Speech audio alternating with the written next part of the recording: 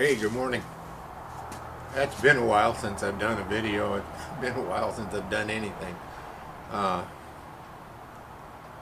what I've decided to do is the first little CNC I built, I built it out of a, an old Chinese multi-purpose mill drill lathe unit and uh, it had its drawbacks. Only part really was the fact that parts were not available anymore and the lead screws and, and uh, nuts were all wore out. So decided that for fun, I would build a CNC machine out of all brand new parts. So what we've got is I bought a uh, Grizzly G0705 mill drill, uh, heavy uh, it'll be interesting getting it on the stand. Of course, getting the stand off the top of the box was interesting, but uh, I won't bore you guys with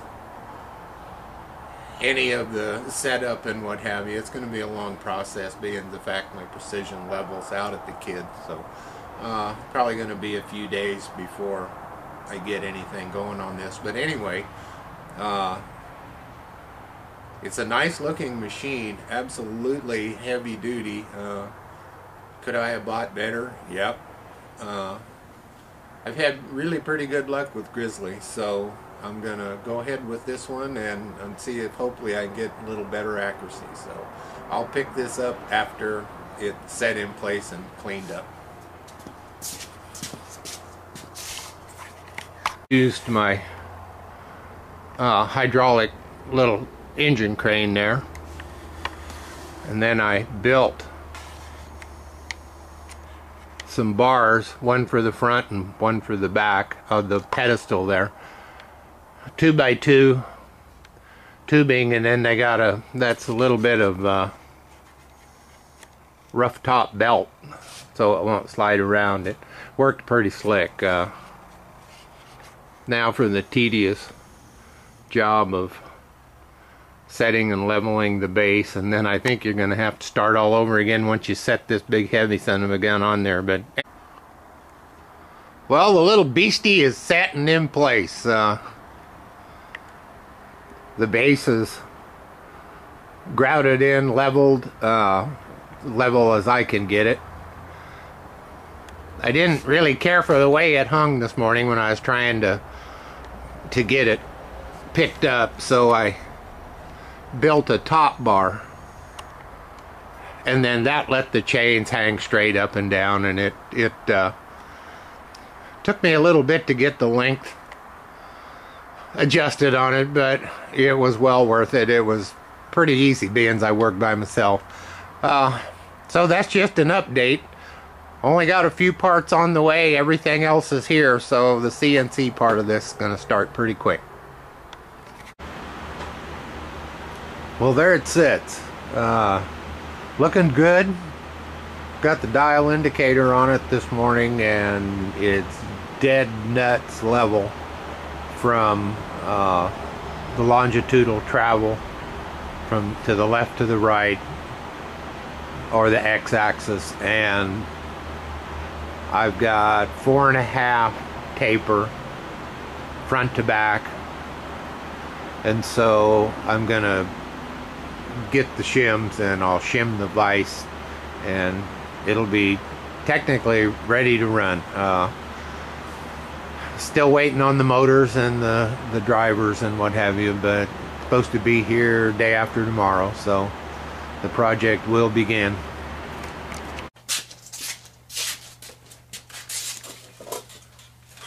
Good morning. Yeah, doing three projects simultaneously. Uh, mechanical side of the Grizzly conversion is uh, pretty much finished today. I just drilled and did the set screws for the uh, big timing pulleys for the X and the Y.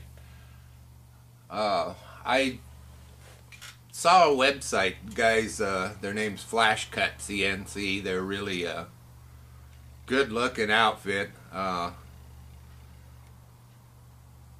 I took the liberty of building the mounts uh, from what I saw off of their uh, videos for the installation of a Grizzly conversion and what have you. Uh, they gave me a quote to do everything that I just built mechanically. And I mean, it really, when you stop and think of what I've, I've been working on this for about a week on and off. Uh, I think they quoted like $860 or something for all of the mechanical parts, which uh, would have allowed me to have this a CNC in two or three hours instead of what I've gone through. But uh, I'm doing this project just because I want to do the project. Don't really need the CNC machine. It's just something I wanted to do and you know, life's coming to an end one of these days, and by God, I wanted to do it. So everything that I've done on this CNC is new. I cut a few corners. Again, I didn't buy a NEMA 12 Hoffman cabinet for the electrical. I bought a uh, metal uh, cabinet for a garage or a shop for parts, and then uh, had Coyote Steel shear me an aluminum back panel and I probably all told have I think $120 into that cabinet and uh, I couldn't have bought the back panel for a Hoffman probably for that but anyway uh, I'll show you the mounts. This is the mount that I built for the z-axis the vertical uh, this is the front the motor mounts out this way the back, uh, the four large holes are just so you can use a nut driver through to tighten the nuts on the, the motor. And then it mounts here. It's kind of hard to see, but it just mounts off of the, the faceplate for the fine feed uh, down feed hand wheel on the on the milling machine. I didn't think that was quite strong enough because for one there are only two 1032 screws. So I went ahead and built an additional bracket uh, that mounts off of the back. And this will actually bolt to a 14 millimeter um, it's the back side of the of the uh, quill lock uh, which on CNC machine that's never going to be used so I took advantage of that to just help with the torque. Uh, the X and the Y are very similar. Uh, the big hole in the front just to facilitate putting the drive through. Uh, the motor again mounts the same, big holes in the back. And then it just got the, the mount holes right here. And this larger bore is where it slides over the bearing housing of the X hand wheel I question their logic in running such a long belt uh, on the X and the Y axis until I realized by doing that you can still have your hand wheels on there and on the Grizzly uh, at, they're pretty good size hand wheels so it I had to stop and think for a while to see their their wisdom and they uh, you know I should have known better you don't need to rethink a product that's commercially for sale. Now the one difference is I don't have all of the optional holes on this because I'm making this for one machine.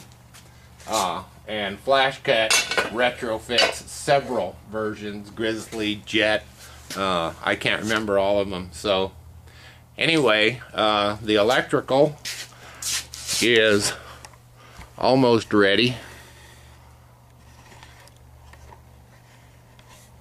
I'll zoom in on that and then go open the door.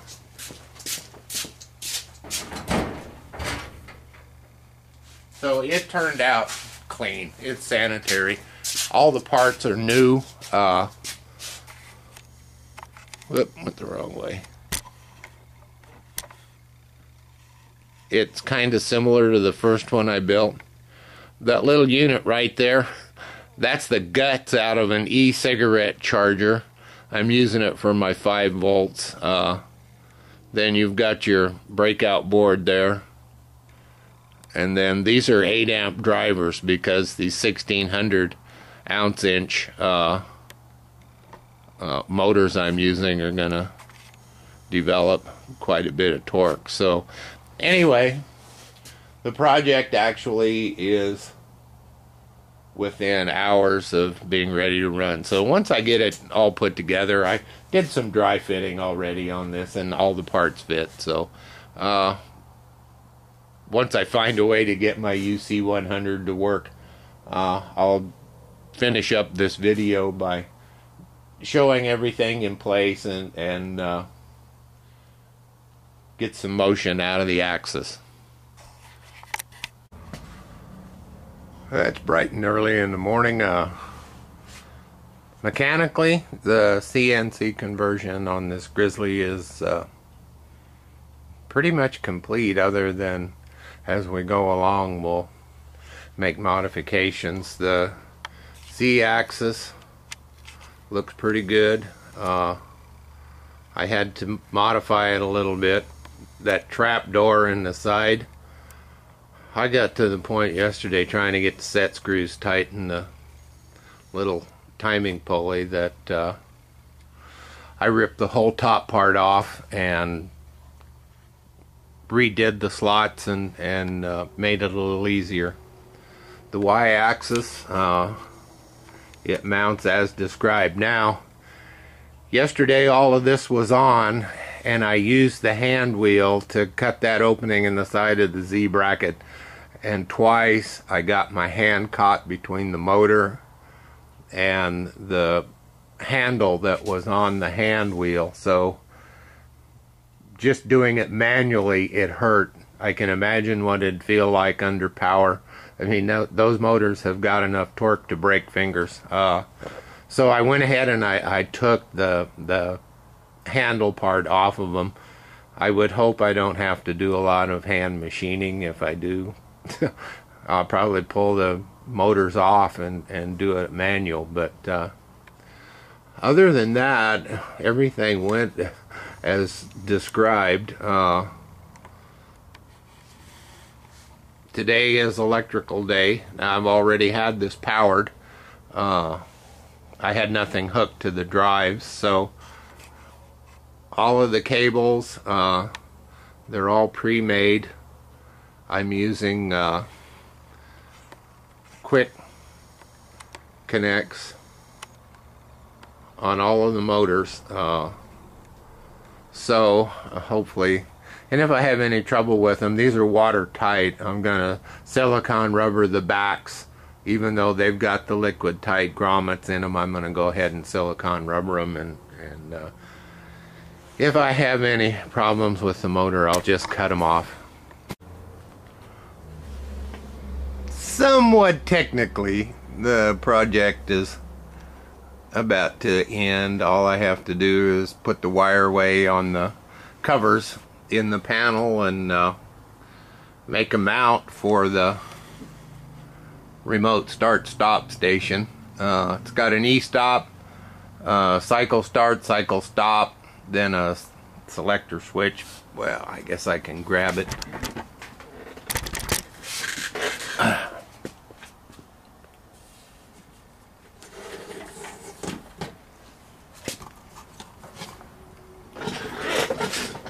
I'll just have a console for this. Uh, I can move it around so if I start making graphite molds, but uh, the selector switch in the bottom corner here, that's an enable. Has to be on and then you can push the auto zero to zero the tool. The e-stop does just what it says it does. So anyway, uh, I haven't made a mount for it yet. So I just took it for a little test drive and uh, I've got dial indicator on it. I'll zoom in a little bit on that. And then we'll traverse from the uh, x-axis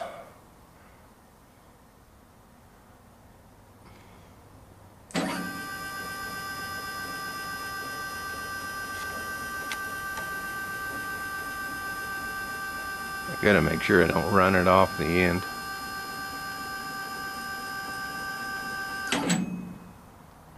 Not too shabby.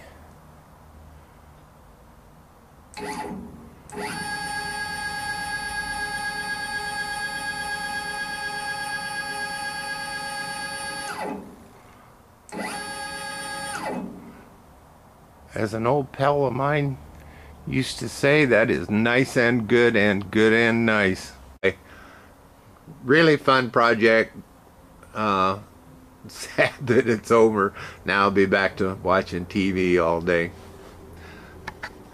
Till the next video. Bye bye.